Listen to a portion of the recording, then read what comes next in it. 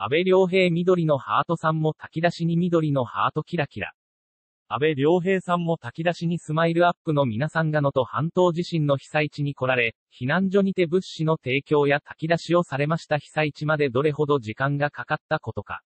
本当にありがとうございました。シャープスマイルアップシャープのと半島地震東山紀之さんをはじめ、井ノ原快彦さん城島茂さん阿部亮平さんの姿が、写真からわかります。炊き出しお疲れ様でした。能登半島の皆さん、怖い思いをされ寒い中大変でしょうね。私も微力なが自治会を通して寄付をしました。サインをもらった女性、スノーマンの安倍さんからです。大好きだから光栄です。中には、メンバーにこんな相談をした中学生も。受験を控えた中学生、勉強頑張るためにはどうすればいいですか？テストでいい点を取りたいんですけど、スノーマン、安倍良平さん、何でもいいからご褒美を作ること。